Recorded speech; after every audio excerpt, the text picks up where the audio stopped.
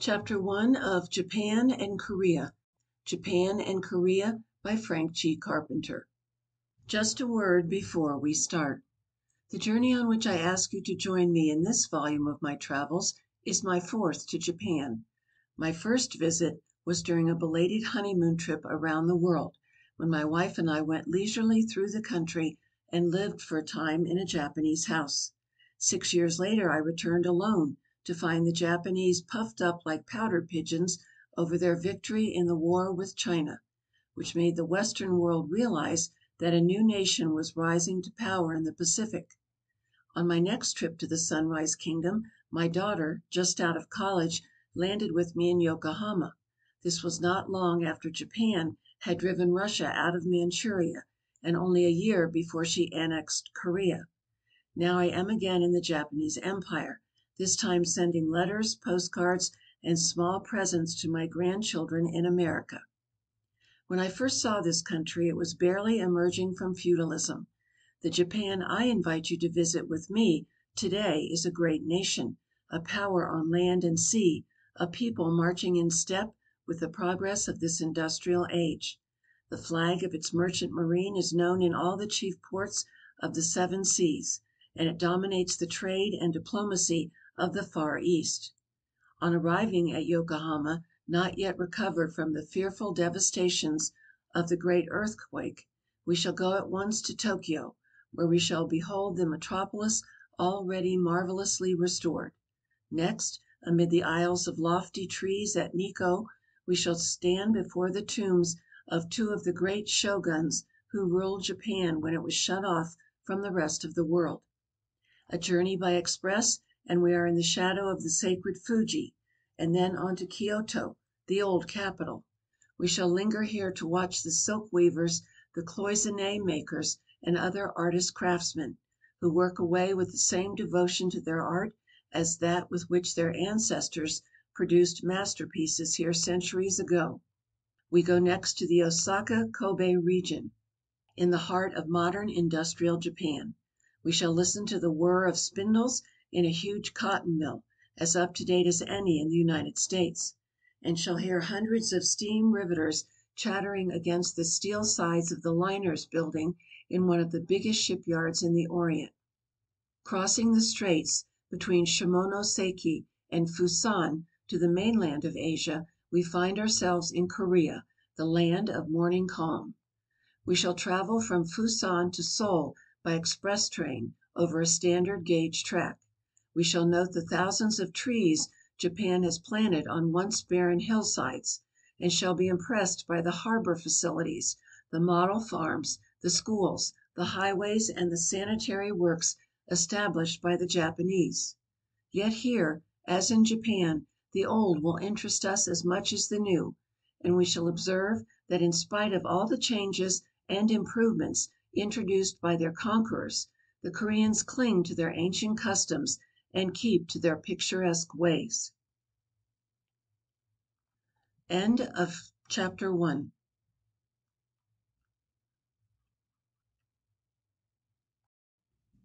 II of Japan and Korea by Frank G. Carpenter TOKYO, the Capital City EARTHQUAKES may shatter it, flames may devour it, yet Tokyo arises from its wreckage and ashes and continues to be the pride of Japan and the place where apparently all Japanese would like to live. It is the dynamo of the country, generating currents that are carrying the forces of modern invention and of foreign civilization into every part of the Japanese Empire.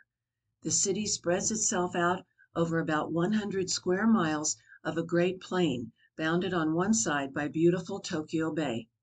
It is the largest city of Japan and its somewhat less than two millions of people make it the equal of Philadelphia in population, while the hustle and bustle of its busier streets remind one of some parts of New York. It is a curious city — of Japan, yet it is not Japan. Its principal street, the Ginza, is a conglomeration of the East and the West. In many sections the Japanese shop signs have beneath them attempts at English translations, which are often as hard to read and understand as the Japanese characters themselves. The small letters are mixed up with capitals, The A's, B's, D's, and P's are sometimes turned wrong side foremost, and the N's, W's, and U's are often upside down. Here is a sign before a "Shop for the Manufacture of Saving Lives made of Cork."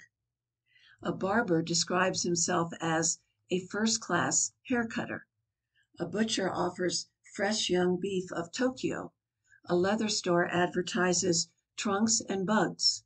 One man announces baggages sent freely in all directions, while another appeals to the female, Japanese and foreign, hairdresser's shop, "Adjust Beautiful." The scenes upon the streets are as mixed as the signs.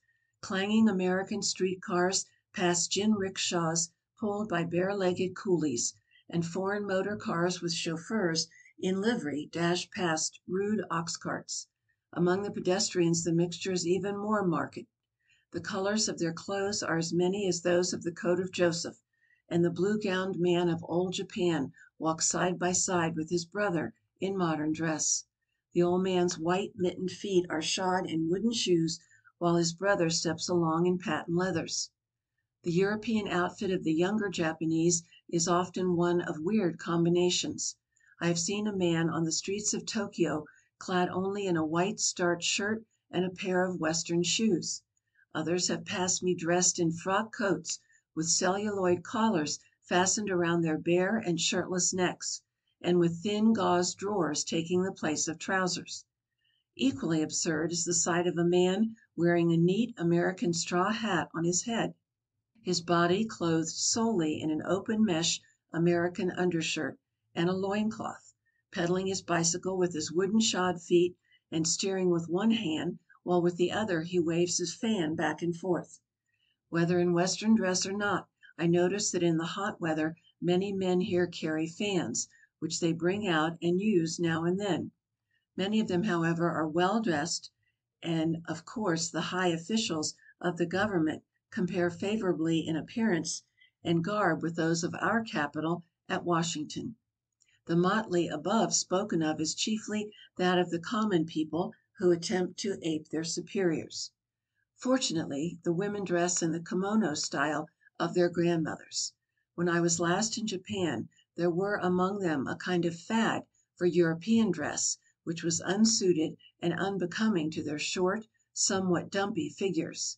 To day it is quite common to see Japanese husbands smartly turned out in the latest Fifth Avenue or Bond Street styles, followed, or accompanied, as the case may be, by their wives elegantly dressed in the rich, soft clothes of the older day. The Ginza, a wide, tree lined boulevard first built as a model "foreign street," is Tokyo's Fifth Avenue. Here are the finest shops, and it is one of the show parts of the city. Though it was swept by the fire it quickly recovered. The Mitsukoshi, for example, the largest department store of Japan, if not of the Orient, withstood the shock of the earthquake, but was gutted by the fire that followed. Now it is as completely stocked and as thronged with customers as it ever was. Plate glass windows, things undreamed of in Tokyo at the time of my first visit, are now common, and are filled with choice displays. Up and down the thoroughfare Madame Butterfly and Madame Chrysanthemum go in and out of the shops as intent as any Western woman upon picking up bargains. The Ginza has long stretches of sidewalks. Yet in other sections there are only occasional bits in front of the more important buildings, and the dust rises in clouds from the unpaved roadway, which on rainy days is churned up into mud as in years past. Only nowadays the mud is worse than ever because of the motor cars and trucks that are a part of up to date Tokyo. The traffic is terrible. The street cars and "busses," which are jammed almost to suffocation, cannot carry all the would be passengers. Upward of ten thousand automobiles are already licensed in the city, and more are coming in all the time, while taxis are fast driving the 'rickshas out of business. Bicycles are everywhere. I am told that there are something like three hundred thousand of them in Tokyo. They dart in and out, this way and that, seriously complicating the problem of the motorists. They are made in Japan, and many of them are so cheaply and badly built that it is a common sight to see one of them go to pieces on the street. Add to all these vehicles thousands of carts drawn by bullocks, horses, and men, and more thousands of men, women, and children on foot, all hurrying along, intent on getting somewhere in the crowded streets, and you have some idea of what modern Tokyo is like. I am not surprised that American automobile owners, men undismayed by the traffic of New York or Washington, declare that they would not dream of driving their own cars in the maelstrom of the Japanese capital. In the business section there are some quite wide streets, for the thoroughfares of Tokyo are constantly being broadened. Yet in other parts of the city there are many narrow streets, and some through which automobile traffic is not allowed to pass. If one wishes to drive in his own motor to a house in such a street, he must ask permission of the policeman on duty. And, by the way, in Tokyo one does not lean over the side of his car and speak to the police from his seat at the wheel.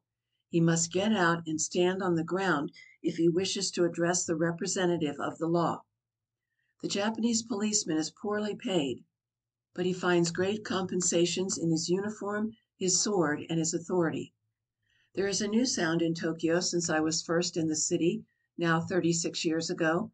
It is the clatter and bang of the steel riveter, which is continually heard. With it mingle the whir of the electric hoist and the roar of the concrete mixer.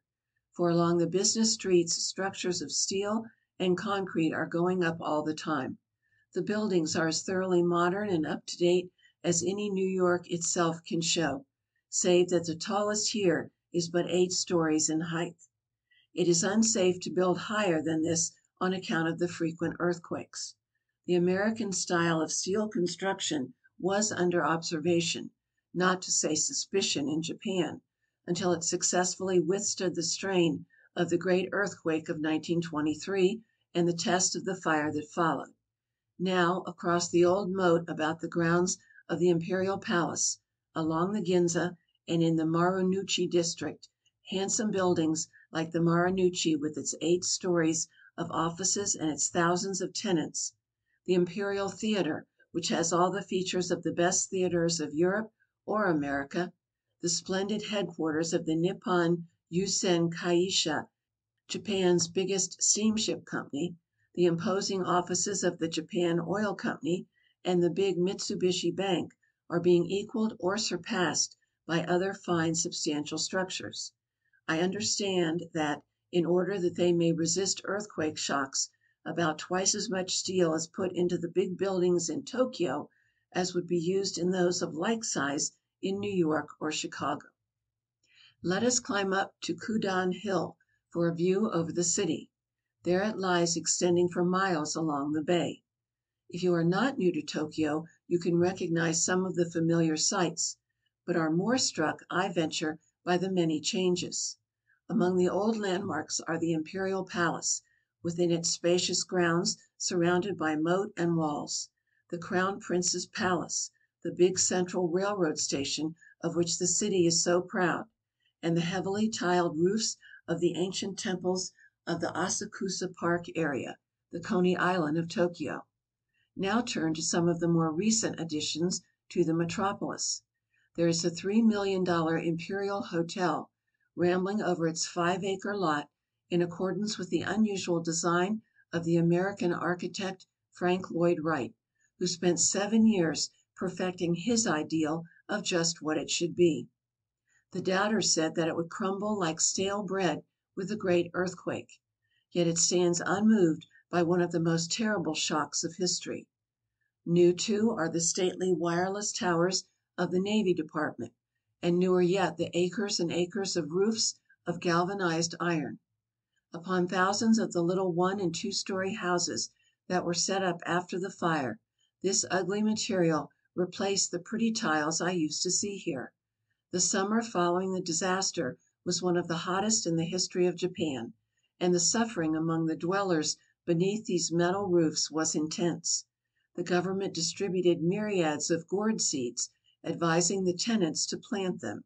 They grew quickly and shaded the heated shelters with their green vines. Across the broad Sumida River lies the Hanjo district, where the shacks of the poor are crowded close together. Here occurred one of the most frightful of all the tragedies of the Great Fire. When the flames began licking up their tiny wooden huts, the inhabitants of the district ran this way and that for a means of escape.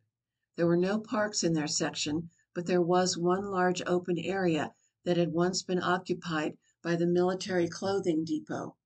The chief of police advised the people to go there, and thither they swarmed, carrying with them their bundles of clothes and whatever household goods they could take along.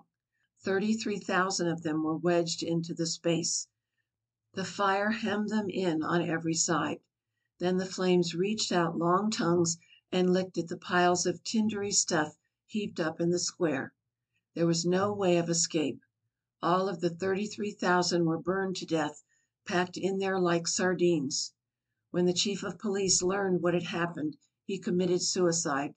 It was decided that no buildings should be erected on the scene of this tragedy, and a shrine dedicated to the thousands who perished there has been placed upon it. For centuries Tokyo has been a political center. It was the seat of government in Japan's military epoch, when the power was held by successive shoguns, or commanders in chief of the army, who were then the real rulers of Japan, while the puppet emperors were kept at Kyoto.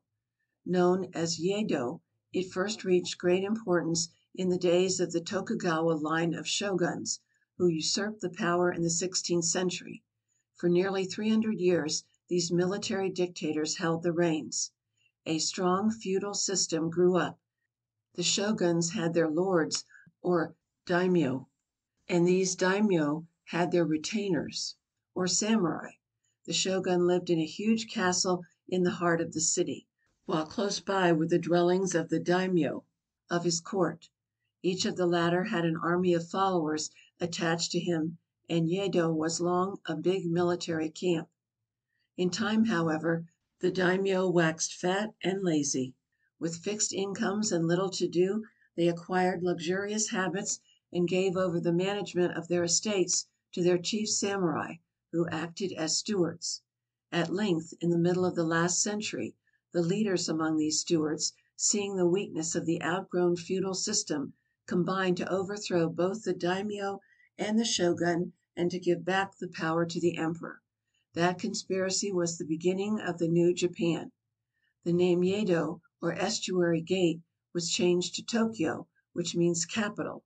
The Emperor Mutsuhito moved here from Kyoto, and in 1868 began the period known as the Meiji, or Era of Enlightened Government.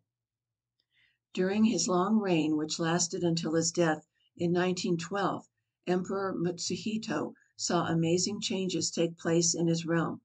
In the space of little more than half a century Japan came out of her seclusion, adopted a constitution and established a diet, fought and won a war against China, became a colonizing country, more than doubled her original territory, won a war against Russia, and took her place among the world's great powers. There are some who say that maintaining that position, with what it means in taxes to support a great army and navy, costs much more than it is worth to the country. Japan proper is only about three times the size of the state of New York, and with all its colonies and dependencies is but little larger than France. Exclusive of Korea, the empire is an archipelago of volcanic islands scattered for a distance of some two thousand miles across the sea from Formosa, which straddles the Tropic of Cancer, not far from our Philippines, to cold Karafuto, in the Japanese half of the island of Sakhalin. It extends through thirty degrees of latitude and has a great variety of climatic conditions.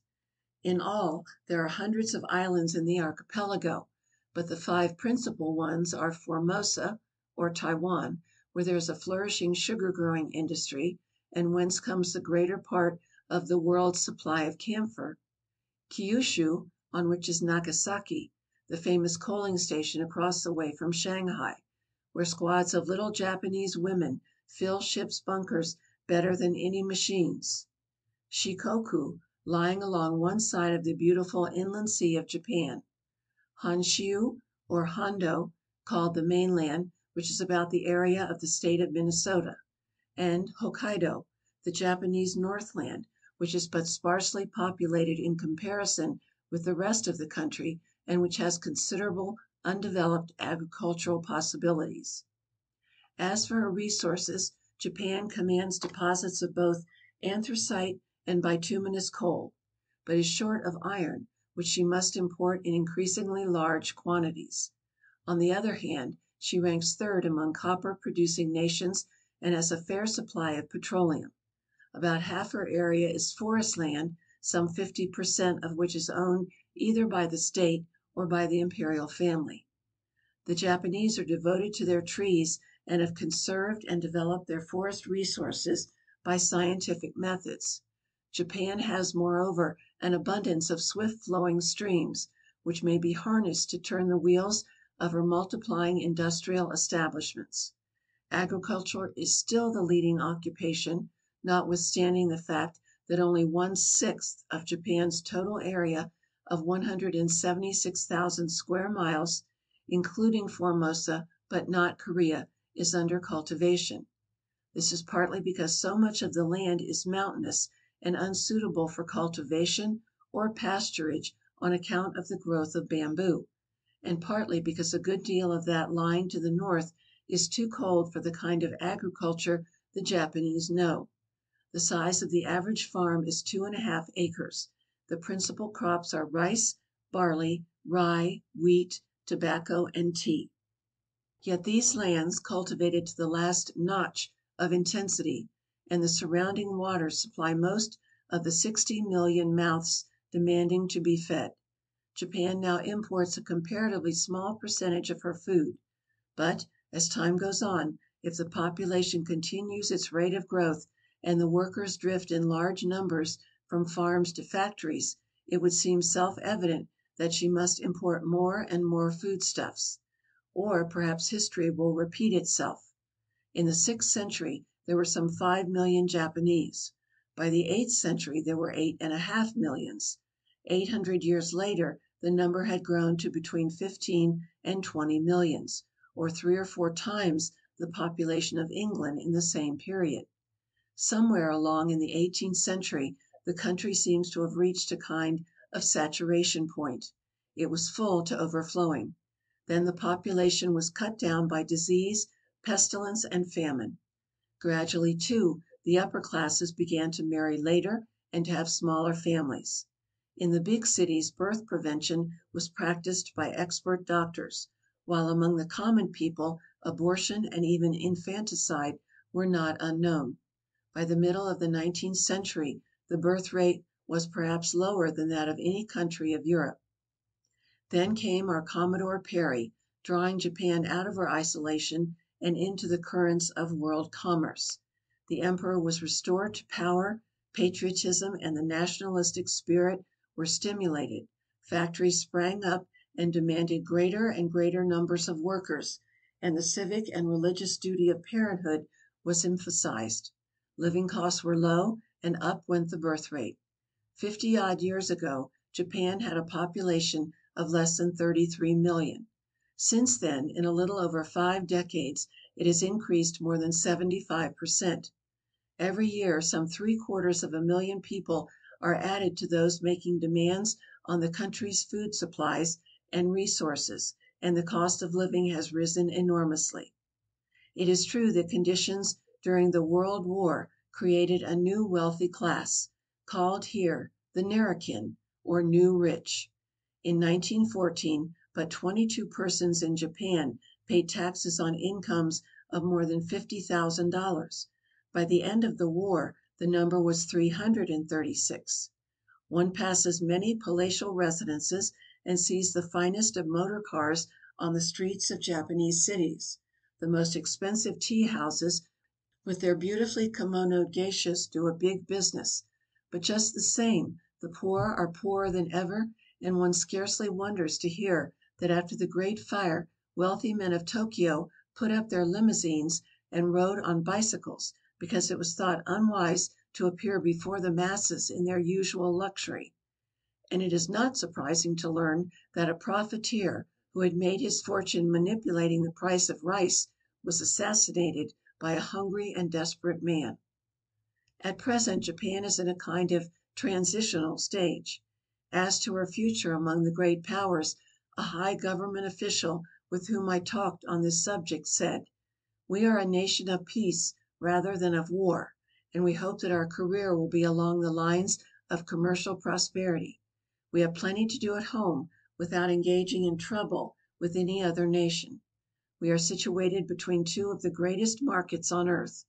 We want, if possible, to make for ourselves an important place in the commerce of the world.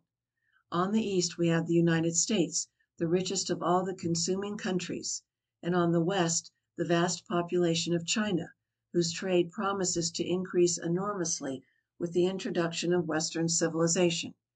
From the commercial standpoint we have one of the best locations of the globe, and we shall do all we can to take our rightful place in world trade." End of chapter III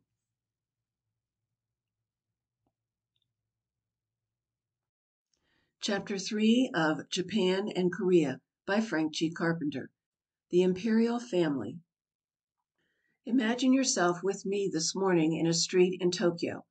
Instead of the usual noise and bustle, all traffic is at a standstill, and a great hush has come over this part of the city, as though it were pausing and holding its breath.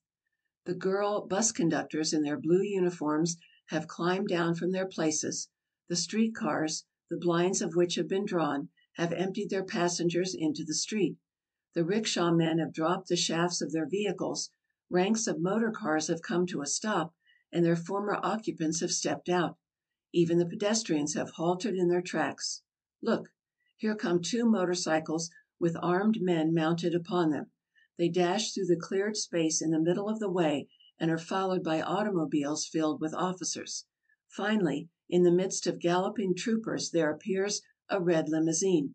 Seated in it, looking neither to the right nor to the left, is a young man in spectacles, wearing the uniform of a colonel in the Japanese army. Everyone stands in reverent silence. The Prince Regent, a being all but divine in the eyes of his people, is passing through his capital on some official errand. The imperial ruler of Japan holds a position among his subjects far above that of any European monarch. His decrees have more weight than those of the Czar ever had. His commands are laws where those of the German Kaiser were prayers, and the King of England is a puppet beside him. Japan has a constitutional government Yet the Emperor is above constitution and laws. "What will you give the Emperor, the Lord of Heaven?" So runs the first question of a Japanese child's catechism. And the child makes answer: "All my possessions and my life when he requires it." The Japanese word for disloyalty is their nearest synonym for our word sin. The war with Russia was fought for the Emperor. The soldiers rushed to battle shouting his name and esteemed it their greatest glory to die in his cause. To the Japanese it is as unthinkable to have the Emperor's likeness engraved on their coins and stamps as it would be for us to employ a head of Christ for such a purpose. The imperial features must not be subjected to wear and tear or careless handling.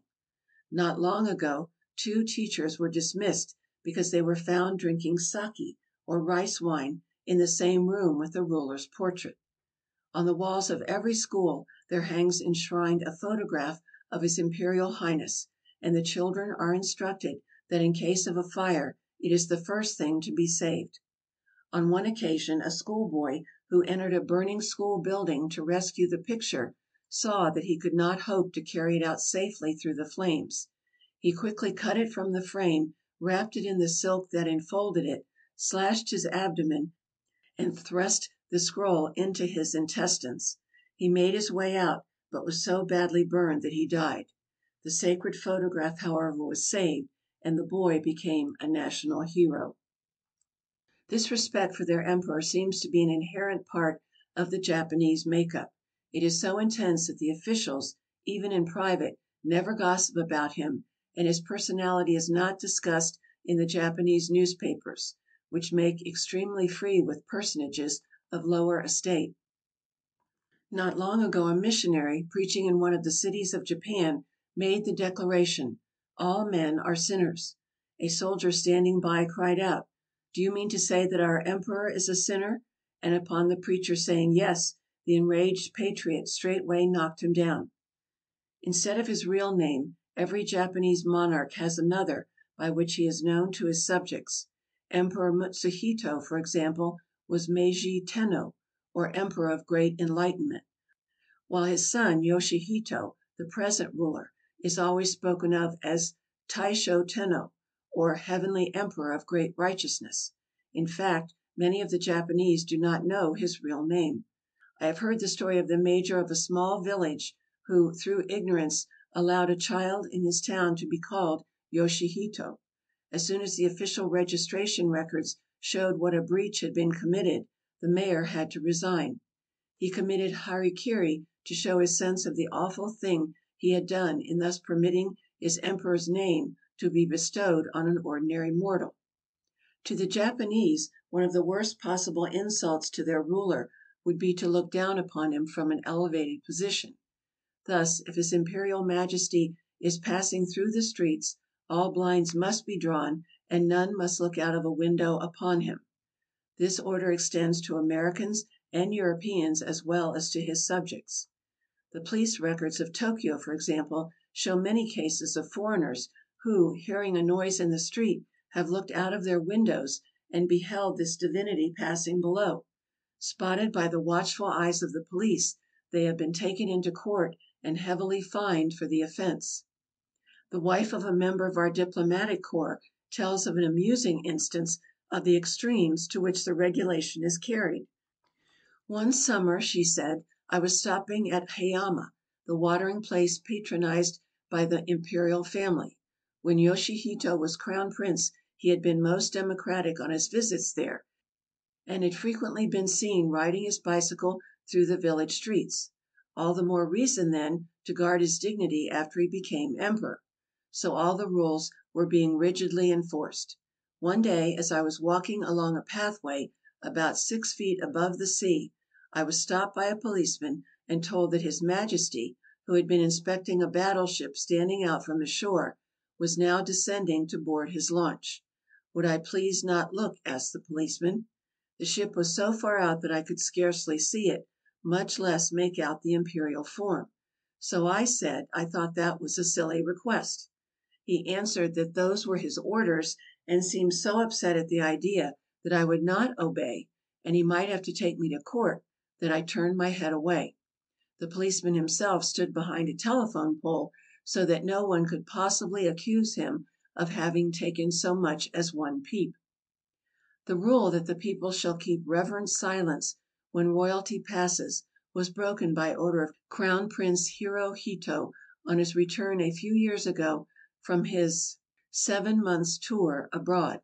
That was just before his father's ill health made it necessary for the young prince to take the office of regent. He cabled home that he would not object to a popular reception, cheers and all. The announcement caused a sensation, and the old timers in Tokyo were so shocked that they prevailed upon the police to send out an edict that the demonstration must be limited to the usual form. This meant that the spectators would line the streets, and, with arms hanging at their sides and heads bowed, would acknowledge silence in the presence of the future Emperor of Japan.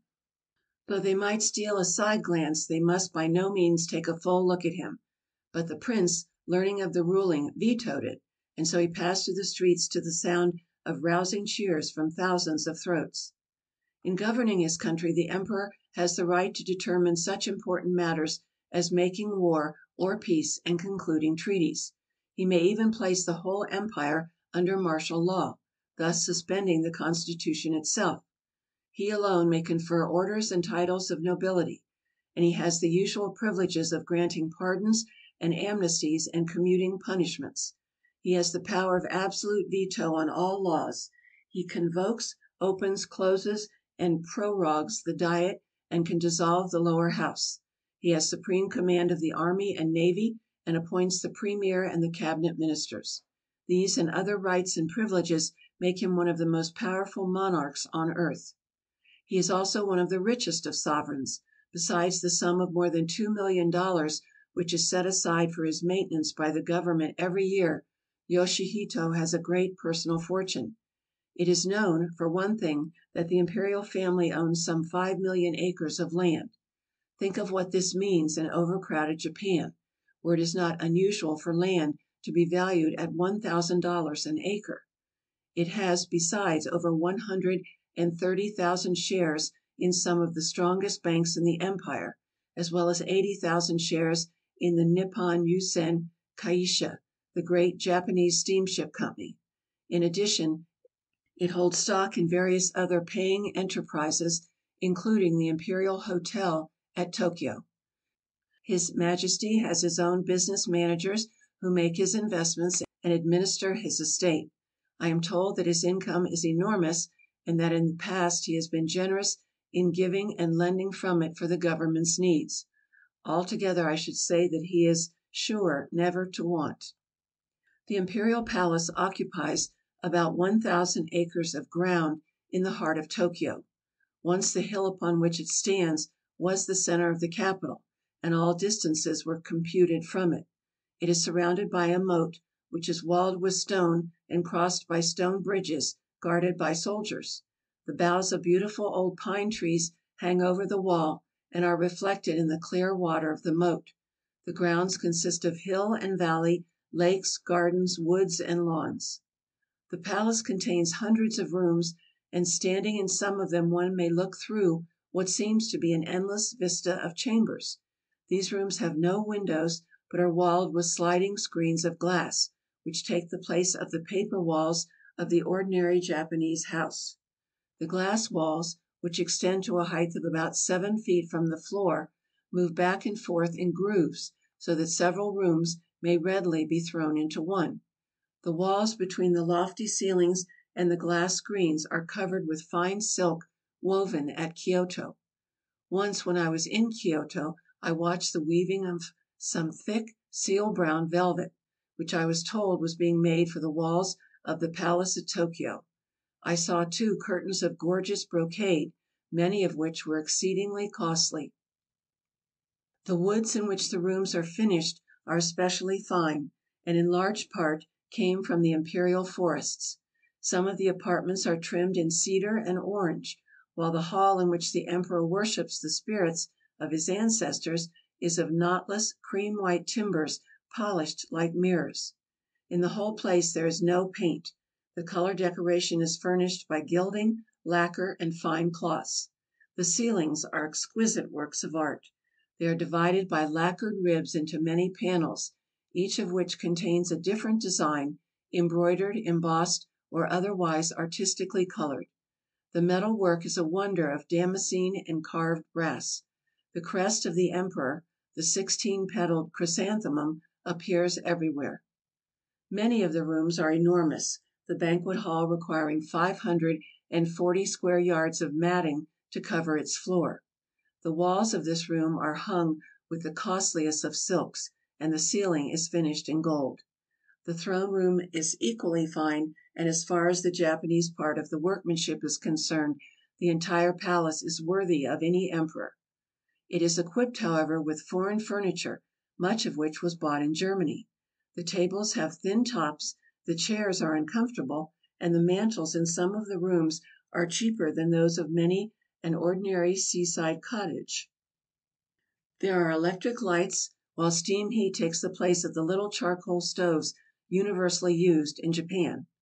The Emperor is expected to entertain in this great palace at New Year's and on one or two other occasions during the year. At the New Year's receptions the Japanese nobles and officials and the diplomatic corps make their bows to His Imperial Highness and the Empress. The foreign ladies appear in formal court dress with long trains. The men, both foreign and Japanese, wear the regulation evening clothes of the West, while the Japanese ladies are clad in gorgeous kimonos. The ladies of the court wear kimonos of scarlet and purple girdled with wonderful and expensive obis, or sashes. The Empress, who is ablaze with magnificent jewels, is dressed in European attire, which, by the way, is usually none too well fitting. Her person is considered so sacred that no ordinary mortal may touch it, and so some one as near her size and shape as can be found among the court ladies serves as a model for her gowns. I have heard that until he went abroad the Prince Regent had never been measured for his uniforms and other suits, but while he was in London he permitted a Bond Street tailor to take his measures and make him some clothes. When the Emperor Mutsuhito was in his last illness, in spite of his enormous power and riches, he did not have the comfort and attention that you and I can readily command. Only one of exalted rank might touch him, and so he could not employ a trained nurse, though there were plenty of good ones right in Tokyo. When his empress was ill, however, there was a compromise. A nurse was employed, but she was given a title of nobility as she entered the grounds, only to have it taken from her at the gate when she departed. A dentist or doctor treating the emperor or empress must wear silk gloves. But to return to the court reception. As the guests arrive, they are ushered by pages down corridor after corridor to a room where they all assemble. Then they go in order of precedence to pay their respects to the empress and the Prince Regent.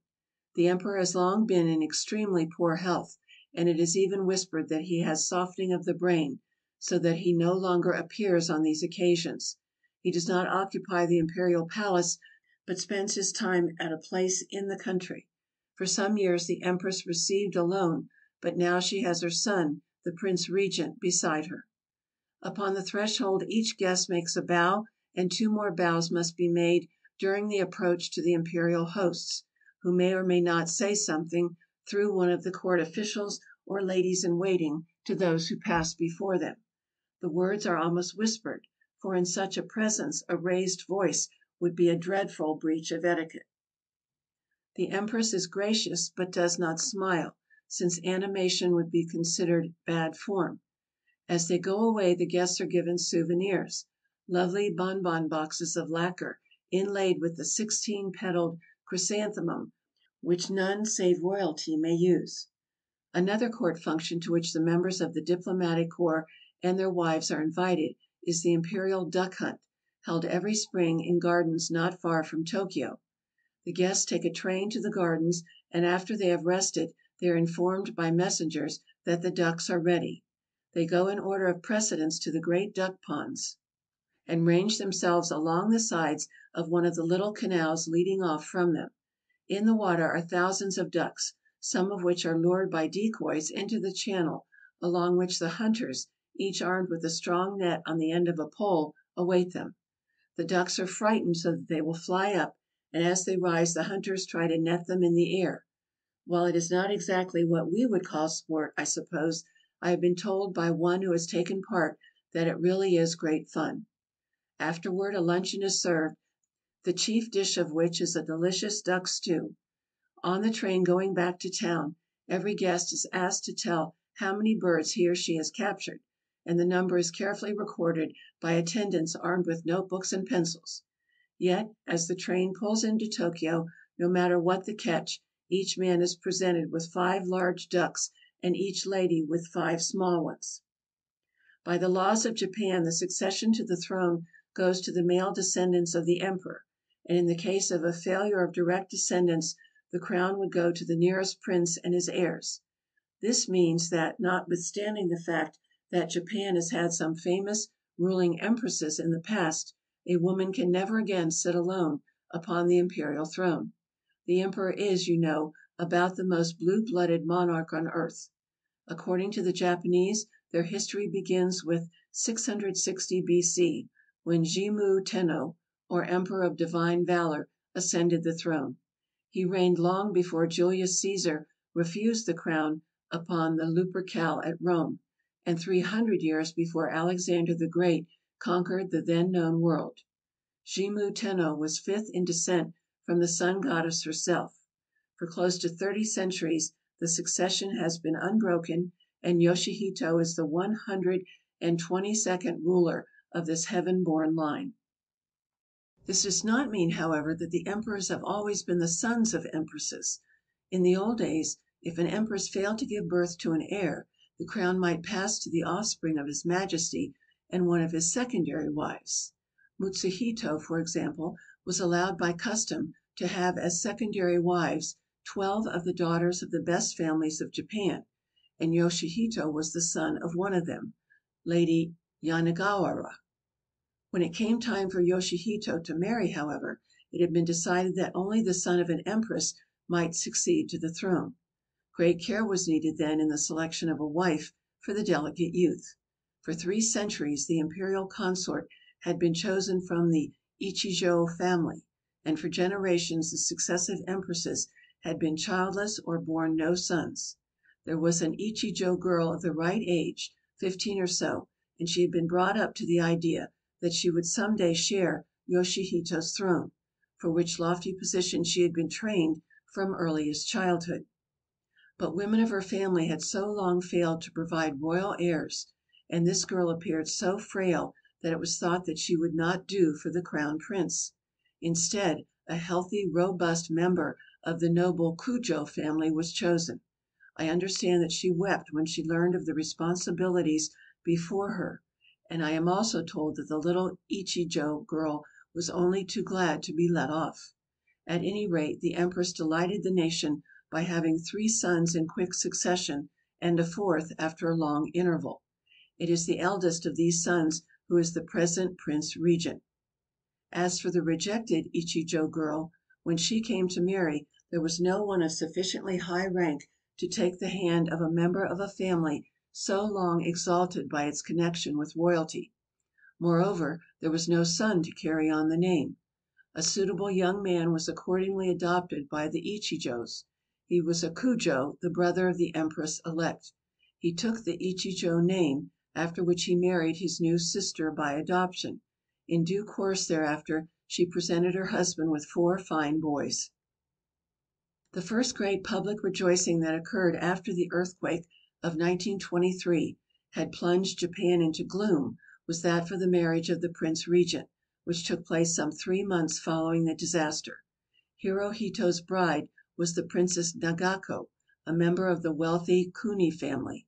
She was educated to be not only the consort of an emperor, but his companion as well. The young pair play tennis with each other and are constantly seen doing things together. They seem to be breaking with many of the old traditions. In the period of my travels about the world I have seen three generations of the Japanese imperial family handling the reins of government, and each succeeding generation has guided the country farther and farther along the paths of progress and modern ideals. CHAPTER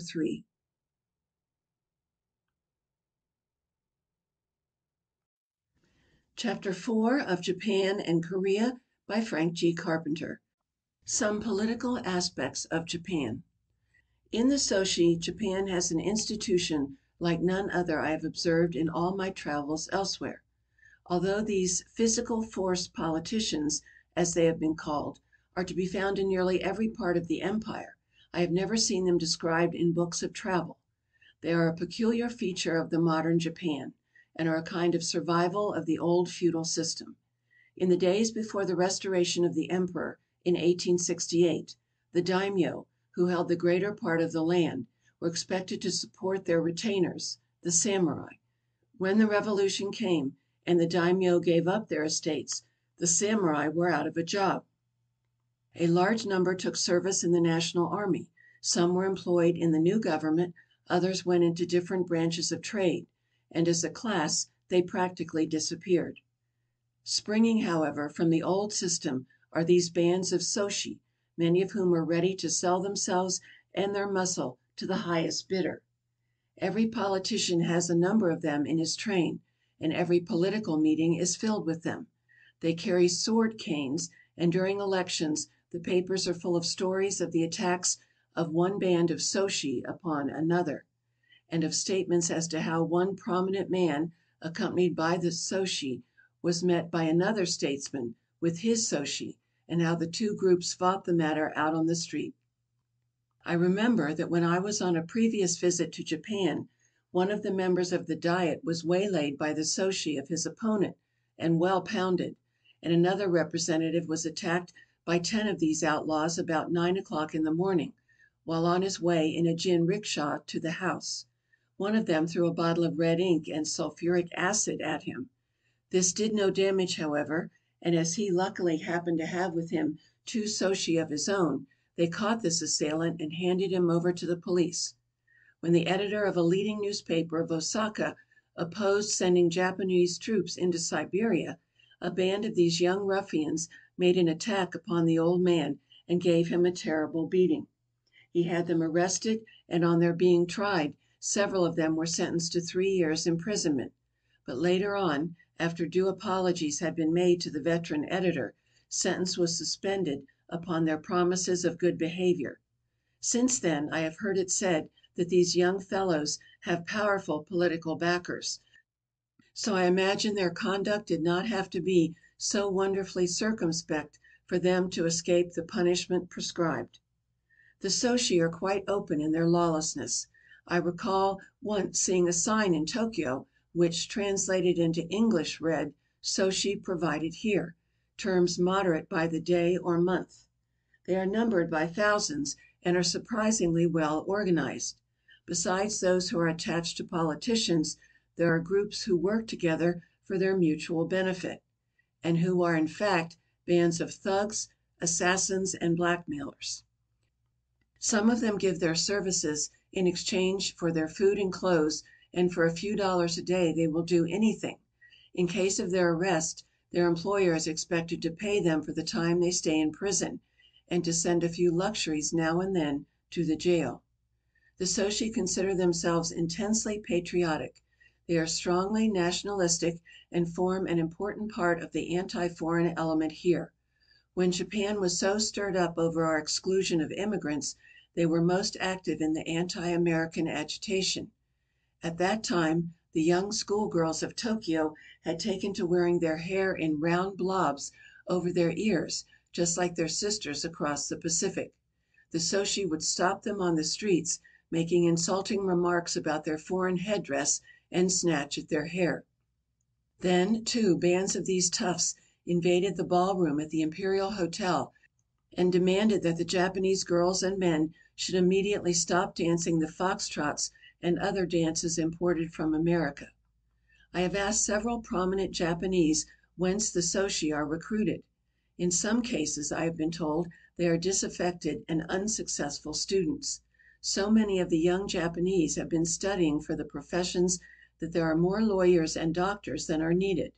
The universities have been turning out graduates by the hundreds each year. I understand that one reason for the large number of graduates is the fact that the teachers and professors hesitate to give students failing grades, because disappointments of this sort so often lead to suicide. I have also been told that it is a common practice for students to offer all kinds of presents to their teachers in the hopes of getting passing remarks. Some of the best students are sent abroad by the government to finish their educations, and given official positions on their return to Japan. Many of those who have not been so fortunate have had to stay out of government service, and some of these "outs" have joined the Soshi. They would be a dangerous element in case of a revolution, and are, it seems to me, a constant menace to law and order. Since I have been in Tokyo, We hope you enjoyed this preview. To continue listening to this audiobook on Google Play Books, use the link in the video description.